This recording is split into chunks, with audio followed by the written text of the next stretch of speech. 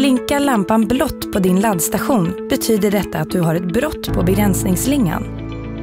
Utgår du från din guideslinga kan du dela upp din begränsningsslinga i en höger och en vänster del.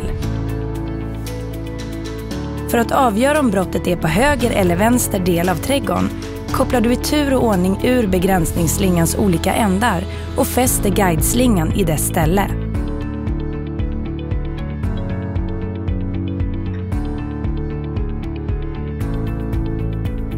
Får du fast grönt sken när den vänstra delen av begränsningsslingan är urkopplad vet du att brottet är på den vänstra sidan av begränsningsslingan.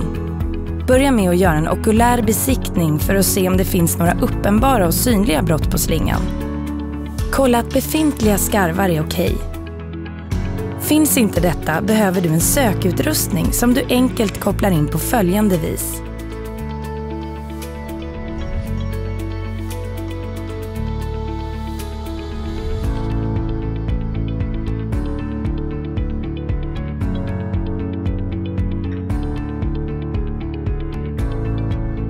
Du kan behöva gräva upp slingan på några ställen för att komma nära nog för att få signal.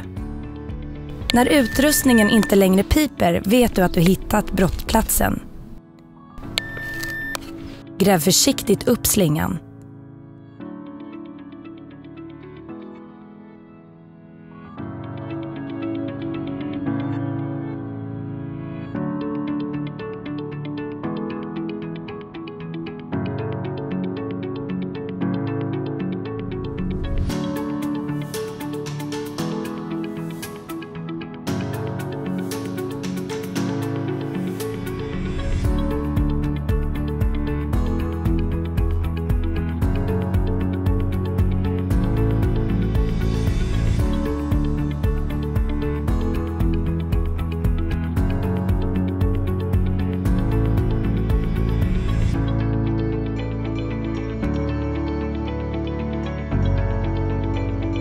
Lägg försiktigt ner den lagade slingan och koppla tillbaka guide och begränsningsslingan i laddstationen.